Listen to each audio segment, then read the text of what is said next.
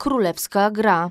Nie bez powodu tak określa się szachy. Niegdyś królowie i władcy grali w szachy, aby ćwiczyć praktyczne umiejętności przewidywania ruchów przeciwnika. Dziś grać może każdy, a zwolenników tego sportu przybywa. Szachy generalnie stają się sportem bardzo popularnym. Jest widać je bardzo mocno w wielu szkołach w województwie, nie tylko w- naszym, w całej Polsce. Jest bardzo duża ilość turniejów. Również w Ostrowcu rozgrywane jest kilkadziesiąt turniejów szachowych e, rocznie, a przoduje w tej organizacji klub Hetman Ostrowiec. Na szachowej mapie województwa świętokrzyskiego prym wiedzie ostrowiecki hetman. Kluczem do sukcesu, jak podkreśla zarząd klubu, są systematyczne treningi i współpraca zawodników.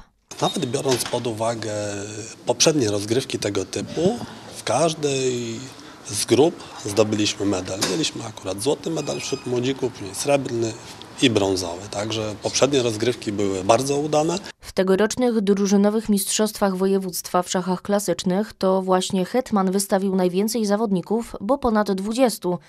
Ponadto w Ostrowieckim Browarze Kultury zagrało 25 drużyn z 10 świętokrzyskich klubów. Są to najprężniejsze kluby, kluby działające w naszym województwie. Kluby z Ostrowca, klub Hetman Ostrowiec, Debiut Ostrowiec, kluby z Kielc, Wiktoria, Kompleks Bud, Lux Kielce, kluby ze Skarżyska, ze Starachowic. Jest to czołówka szachowa. Mimo, że szachy są sportem trudnym i wymagającym niecodziennych umiejętności, to wielu młodym zawodnikom udaje się osiągać liczne sukcesy w tej dziedzinie. Na przykład Maciejowi, który na swoim koncie ma blisko setkę rozegranych zawodów i turniejów. Pucharów mam 22. e, Medali nie liczę, bo mam ich bardzo dużo. No i pnę się cały czas do góry.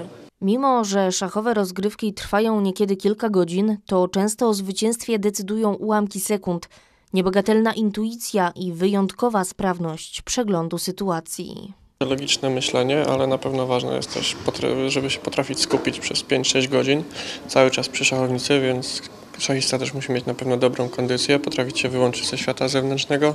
Pomaga dzieciom czy młodzieży, które mają jakieś kłopoty, jakieś dysfunkcje. Y, On uspokaja, wycisza, uczy po prostu takiej tolerancji również dla zawodnika i postawy fair play dla kolegów. Dwudniowe zmagania szachistów z regionu zakończyły się zwycięstwem seniorów ostrowieckiego hetmana w grupie Open. Juniorzy uplasowali się na miejscu czwartym, młodzicy natomiast zajęli miejsce piąte. Była to pierwsza runda Mistrzostw Województwa, druga już 21 i 22 marca w Kielcach. Wtedy poznamy mistrzów województwa świętokrzyskiego. Natomiast w sobotę 22 lutego Mistrzostwa Ostrowca w szachach klasycznych.